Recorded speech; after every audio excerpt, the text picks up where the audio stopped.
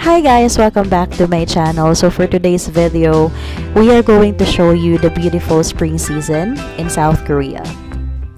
So since hindi pa allowed yung mga tourists na pumasok ngayon sa South Korea, we have here some video clips taken by our lovely friends who's now um, in South Korea.